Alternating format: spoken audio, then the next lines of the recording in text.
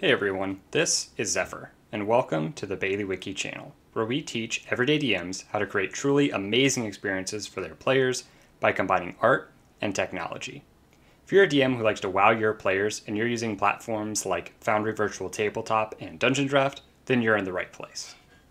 Ripper recently updated the particle system for 3D Canvas, completely overhauling it and adding these phenomenal new special effects.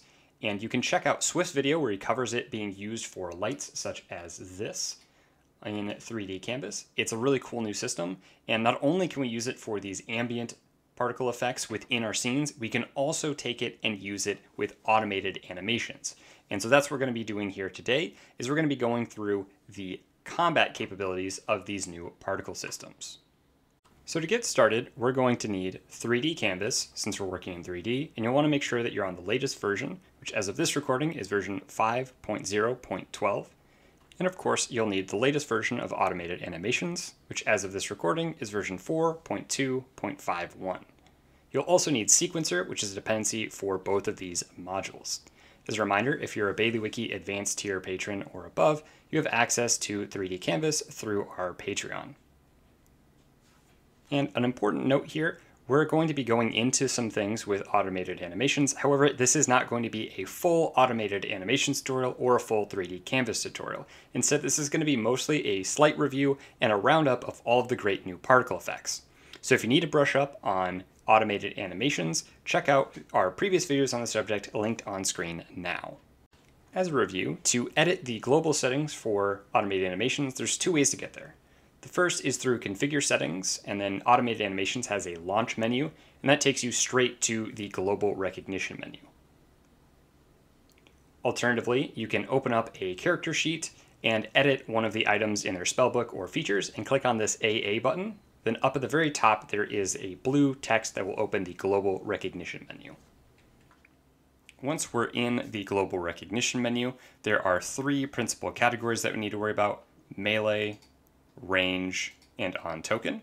All of these have 3D effects on them. The rest you can safely ignore, or if you want to use those for 2D, you can go ahead and customize them. And if you want to learn more about automated animations for 2D, check out our first automated animations video that's linked on the screen right now. I'm going to go into range so that we can adjust one of these spells on this mage here. And I can also show you some of the new things that have been added. So, as a review, when you click on 3D Canvas, this is how you're going to actually edit the 3D versions of these effects. And there are a lot of different options. So first off, we have to have this marked as enabled, which all of these should have that by default. And then you have the type. There are a whole lot of different types. In general, if you're working with range, do you want to stick with either projectiles or rays, or you might want to throw in directional. Save explosions and on target for either on token effects or the explosion add-on. Then our very first option is going to be the sprite. And when you use these different effects, usually the sprite is going to be layered multiple times. And that is going to kind of give you the image here. That's not the case with Runic Shot, so we're going to switch over to a different projectile. And then we cast Firebolt. You can see there are these little embers that are falling off of it. So if we change the sprite, that's going to affect that. In terms of changing sprites, there are a lot already included in the 3D Canvas directory here. This is where you're going to default open up to, and you can use this to change the shape and look of these different pieces. I'm using Ripper's File Picker Plus, which has given me the preview icons in that top left corner there. This is particularly helpful for on some of these effects where we will use 3D objects. So instead of WebPs or PNGs, we're going to actually use 3D models and it gives us a nice preview up to the top left. He's also included some WebPs just to show you a quick preview of what it looks like, but it's helpful to be able to see the model itself as well. You can of course change colors, and then we have a lot of different options. I'm not going to demonstrate the difference between all of these settings right now. You can check out our previous video on the subject if you want to see them kind of in depth. We're just going to do a quick review. So speed is the rate at which the effects occur. So for this, it would kind of be travel speed on the projectile to and from. Repeat is the number of times this is going to go off. So it will repeat the whole projectile as many times as you have this number specified. Delay is how long to wait between any starting animations or any repetitions. If you use repeat and you want to make sure that all these bolts fire at the same time and you don't repeat token animations, you'll want to manually set your delay to zero. Scale and emitter size are both linked to this new feature, which is auto sizing. And this should work for most of these different effects and most of these different particle sizes, it's going to kind of intelligently change the emitter size and scale to look the best with this particular preset. It doesn't always work for certain spells or certain effects here, so you may want to turn auto size off and adjust these. If you do, you can think of scale as how large should the individual particles be, so how large do you want your sprite to be? And the emitter size you can think of as being what's the area that it's filling. Kind of similar to when we have the lighting system on and we have it filled with particles. It's do we want it to fill up the entire size of the light area or a smaller version of that. So emitter size is how you can kind of change the total area that's affected. But again, that's usually going to be handled by auto size. You can turn that off if you want to adjust these, and there are some of these different effects that you will want to adjust. Arc is how many times it's going to shift in between moving to the target. Alpha is how opaque or transparent the individual particles are. So if you make it 1, it's going to be completely opaque and hard to see through. And if you make it 0, it's going to be invisible. You may want to turn this up if you're using one of the new effects that has physical objects to it. Gravity is going to be how these particles drift. Are they going to fall downwards or rise upwards? Or if you have it at zero, they're going to kind of lazily hang in the air. Duration depends upon the different effect, but in general, it's going to be how long are you waiting before you're applying things like explosions or end animations life is how long the particles linger in the air. So if you set this value really high, then the beams and particles floating in the air will stick around for a lot longer. And then rate is how fast the particles come out. And this varies from effect to effect as to whether it's going to travel faster or if it's just going to have a lot more particles. So you'll have to play around with that a little bit on each different effect. Rotate towards kind of makes the projectiles go towards the target and it changes how it moves in the air. It again varies from effect to effect, so that may be something you want to play around with. Again, we have auto size. It's going to automatically adjust the emitter size and scale for you. And then the on center tag allows it to aim for the center of mass on your target and you won't notice this as much when you're attacking medium sized things or small things, but when you get to much larger or much smaller uh, targets, then the on center helps it look like you're actually aiming for center of mass. That's a really brief overview of all of this. And with all of these different pieces, you'll notice that when I click on these, these I've left at the default values. So I have the text bar indicating where I can start typing actually in the middle of the number instead of in front of it, whereas like on duration, I've already typed it, so it's starting on either side. These are default values that are going to be there if you have no text in, so they're placeholders. And if you ever want to revert to the default, you can simply just delete what you've typed and we'll see the placeholder text comes back. And that makes it uh, back to that default value. Note that delay functions slightly differently if you have repeats or extra token animations, and you may want to manually type in the zero in order to override some things. With all of these, you can add sounds, and there are a variety of different settings for that. For example, when you want to start, the volume, and the delay, re repetitions, and repeat delays, etc. Explosion is a secondary effect that's going to trigger on what you're targeting and hitting after it finishes the first part of the animation here.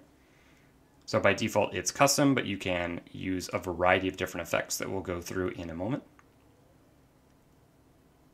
You can kind of see these little embers hopping off, and that is part of the explosion. Obviously, you'd want to tweak that further to get it exactly how you want it. Token animation are these little effects that we're doing before and after the animations. So we have options for the source token and the target token, and there's a few different options here. If you ever want to look at them before trying any, just right clicking on a token under the, the effects and animations here for 3D canvas, all of these different uh, emotes really are what's going to correspond to these different types here. So you can use that as a preview. You can choose whether to play these animations at the beginning of the whole animation or at the end or both.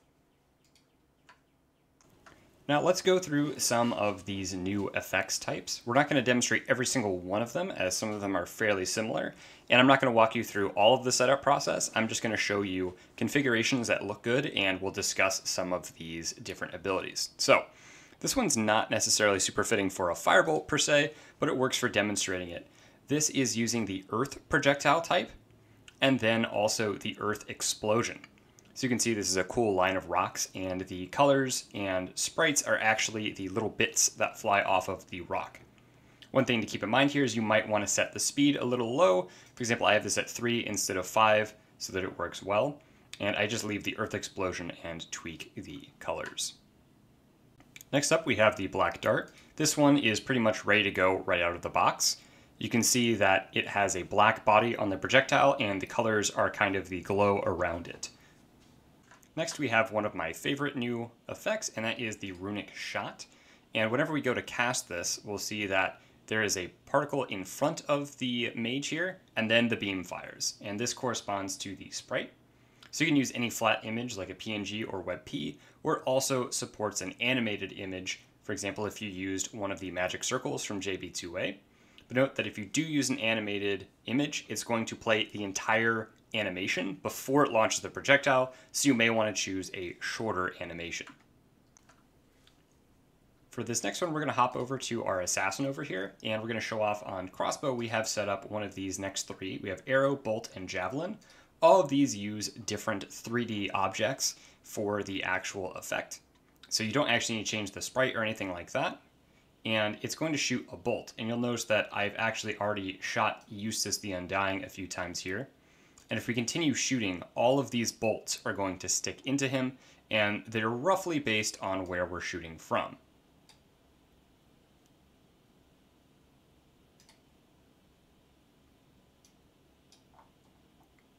So you can see that all of these stick in, and it's a really cool way to make something look like a real pincushion on the battlefield using ranged weapons. Arrow and Javelin function in pretty much the same way, so you can use all of these in combination to make those archers feel really great with all of these splashy effects going on around them. As of right now, in order to remove these, you need to either change the scene or refresh your screen. In the future, there may be an option to remove them without having to refresh or change scenes. The magic arrow effect functions similarly to the other arrows, but this one's going to be colorable, so it's going to reflect the colors that you use. This is perfect for if you want to have some kind of magic arrow effect like acid arrow, etc. If you use auto size, it's kind of large, so you may want to make the size smaller and then tweak the scale accordingly in order to get the exact size that you want. I kind of like the big chunky arrow, but that is up to you. Next we have the shotgun effect. Here I have the speed slowed down so you can kind of see it's got a little bit of that classic video gamey spray look to it. You can leave the speed at the default and it comes out pretty quick and still has a nice impact, but it might be a little harder to see, kind of a blink and you miss it situation. Make sure that you have auto size turned on on this or you'll have to really play around with the scale and emitter size to get it looking nice. Next we're on to the rays, and the Runic Ray is another fantastic effect where you have a sigil appear in front of your character. You can see here I'm using the animated one, and duration actually affects how long the animated asset will play on this particular one. So you can tweak that so that it lines up nicely with your effects and you get to see the symbol for a bit before the ray goes out. So really good, clean effect. Next we have the Void Ray, and this is a pretty cool effect, kind of similar to the Black Dart, and it's going to be lines instead. And this has a really cool look whenever you have a lot of repeats and arcs set up. It kind of looks like a bit of black lightning, so you can get some really interesting effects by playing around with it. It's again that black body, and you just change the colors for the glow around it. And if you're doing a lot of repeats, you'll want to manually type in zero for your delay. Otherwise, it's going to repeat any token animations before each individual beam. We're going to switch over into the directional options, and I'm going to demonstrate that first with Scorching Ray using a flamethrower.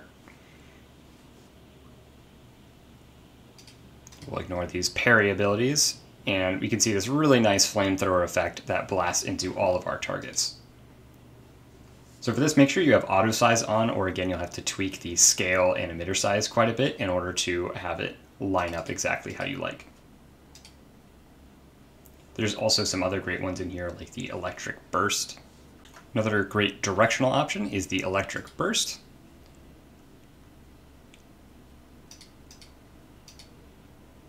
Works excellently for creating this great torrent of lightning going on. There is a poison cloud, which is a little more gaseous here. And this is with the auto size on. You can tweak these to make it a kind of finer mist as appropriate. Looks excellent as like a breath weapon or something similar. We have the frost effect.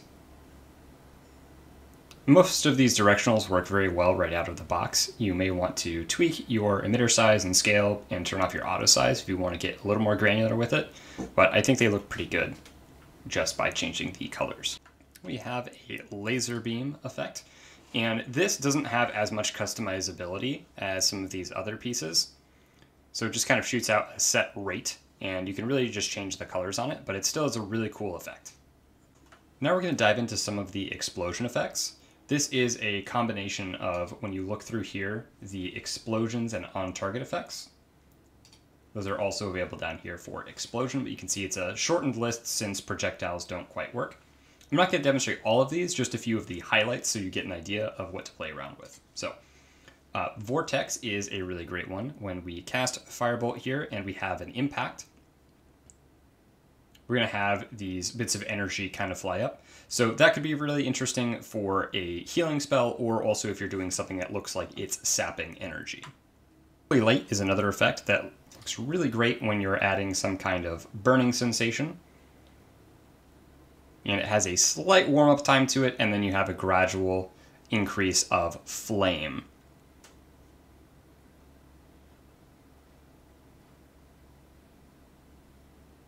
The Tesla effect is a really good one for showing some extra electricity going on. I highly recommend having on center on, so then it will be in the center of the token. If you have on center off, it's going to be centered on the token base or the feet of the token. So for best results, have it on center. This next effect is really awesome. It's the Gravity Well. However, you do have to make some pretty substantial tweaks, and it might not be appropriate for a cantrip level attack here you can see this creates this amazing gravity well effect around the target. To get it to look nice like this, you should turn off auto size and set the scale somewhat large and the emitter size needs to be substantially larger. See the default is uh, very small, 0.001, and I have it set up to 5. And so that's basically going to make it take up like this 5 grid square radius around the token, and that's kind of what you need to make it look nice and neat. Otherwise, some of the pieces get a little splintered and everything. The explosion effect is another really satisfying one. This is, again, a situation where you might want to have auto size turned off. With auto size on, it's a little smaller, but this way you can tweak it a little more, change your emitter size, your scale, etc. Sparks is another really fun effect, and this actually has some physics to it. I've set the duration and the life pretty long so you can see it, but it has all of these little particles jumping off and they're actually bouncing off of the terrain here. So it will intelligently determine what the surface below this token is and it will bounce off of that. It can't keep bouncing off of several pieces of geometry, but it is a really convincing and cool effect for any kind of fiery spell or ability. The last explosion we're going to show off here today is going to be lightning. This is a really satisfying one. And it works excellently if you're doing some kind of holy magic, or if you're calling down lightning of some sort, or even some sort of smite. Moving on to the melee types, there are swing and thrust, and then a swing thrust, which will randomize between the two. And I have this set up for a dagger. And when we swing, it's going to actually slash. I have the rotate towards selected, so it kind of looks like the slash goes directly towards Eustace here. And then I have my auto size turned off and my scale set fairly low. I found with the particular models that I'm using that I want a smaller scale than auto size gives me. For the sprite, uh, you can use some of the different things within the main 3D Canvas module, but I would highly recommend grabbing the 3D Canvas map making compendium, which has a whole bunch of different free models for you to use, and most people should have this installed if you're working in 3D, but in case you don't, this is where you would go. It is inside of the Canvas 3D Compendium module, and then under RPG items, there's all kinds of different items, weapons, etc. So you could change it to be an axe or um, a mace or a sword, or you can hit someone with a treasure chest if you so choose. And that's how you would set up all of these different melee options. Also notice that we haven't talked about using spells with templates yet in 3D. Well, the reason for that is because 3D Canvas handles it itself. So if we go into our configure settings and look at 3D Canvas, and you configure the global 3D Canvas settings, there is the enable template effects, and that's going to apply shaders to templates based on the damage type. And this is somewhat of a misnomer. It says that currently only D&D 5e is supported. D&D 5e comes with some extra visual effects in the form of these particle systems that we have, so we're going to show that off in just a moment. But also if you're on Pathfinder 2e, then shaders will be applied to spell templates, so it'll look nice, kind of similar to how token magic effects works in 2D. So there is support for both of those systems, but 5e has a little bit more in the form of extra visual effects. And we'll demonstrate that right now. So we cast this Cone of Cold, rotate it so it catches everybody. We'll see there's this nice frost effect here. And no template shows up because Cone of Cold doesn't actually have a duration. So 3D Canvas goes ahead and automatically deletes it because I'm using MIDI QOL, it does give me this little pop-up that we have ownership of the Cone of Cold template. You may want to change your workflow settings in MIDI QOL to get rid of that little pop-up if you want, or you can just ignore it because as soon as you advance the turn away from someone who has a single attack template, it will go ahead and disappear. This is all based off of damage type, and although it will automatically get rid of a template if you have a single instance of damage like Cone of Cold or Ice Storm or Fireball. If you have something like a Cloud Kill here, it's actually going to create a template with this effect on it. So if you're using Pathfinder 2E, then all of your templates are going to have a similar effect applied to it based upon the damage type and will not be automatically deleted even if they're single use um, pieces. And if you want to manipulate this, you simply select the token, uh, the template, and you can move it around or delete it as I have just done. And then you can deal with all your concentration and everything. So that's how area of effect and template-based spells work right now with 3D Canvas. Currently, these are not customizable. However, that is a feature that Ripper is working on. And so when he does come out with that feature and the ability to customize these different damage types and the effects for template spells, we will cover that in a video at that time. And that's going to conclude our coverage on the new particle effect system for 3D Canvas using automated animations to make your combats really pop. We hope that this has been helpful to you and given you a little bit of a taste of just how gorgeous these new effects are that Ripper has added. And automated animations makes it so easy to leverage these for combat to make both visually spectacular and engaging combat encounters for our players. In the future, Ripper is planning on fleshing out the presets for different types of attacks and animations in automated animations for 3D, so keep an eye out for those updates in the future, and possibly a Baileywiki specific pack for 3D combat animations. Once again, this has been Zephyr for the Baileywiki channel. If you enjoyed this video, subscribe to our channel to keep up with all of our latest content, and consider becoming a patron. Not only do you support the channel, but you'll also gain access to all the modular systems and scenes that we've ever made, including this beautiful 3D city scene that we've been on today. Once again, this has been Zephyr. Thank you so much for watching, happy gaming, and have a good one.